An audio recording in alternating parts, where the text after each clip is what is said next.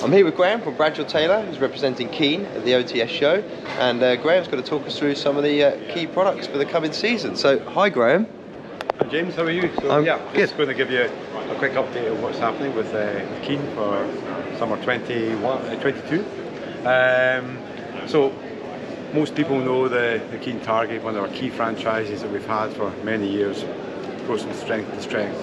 Leather upper, waterproof membrane, good traction outsole. Absolutely nailed it for many, many years in the marketplace.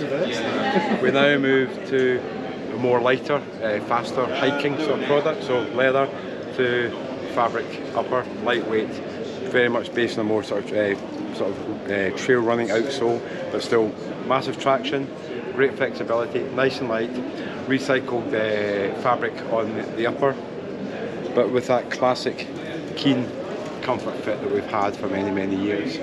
So lighter, faster, nimble, but all-terrain trail shoes. Excellent. Well, that sounds great. I'll scan around the rest of the shoes and uh, appreciate your time. Yeah, good luck. Thanks. Cheers.